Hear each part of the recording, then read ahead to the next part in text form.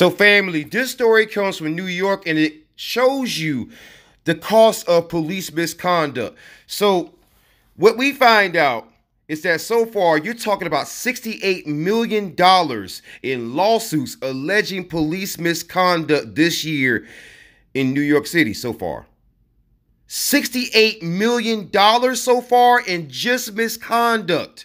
Payouts for the first seven months of 2022 already surpassed the calendar year totals of 2020, meaning that so far this year, the dollar amount that we have up until this point is overshadowing 2020 despite everything that was going on in 2020. So, folks, we are seeing proof that things did not get better, they got worse.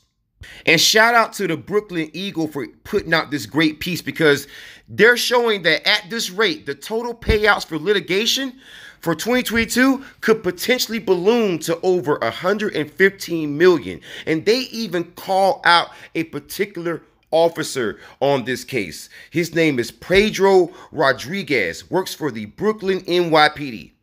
Involved in one of the largest payouts, but man, this gets wilder.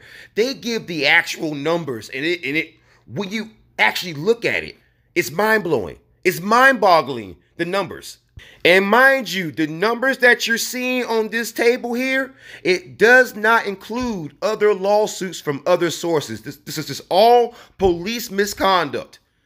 So for 2019, 68 million, a little bit over. 2020, 62 million. 2021, 87 million dollars and some change.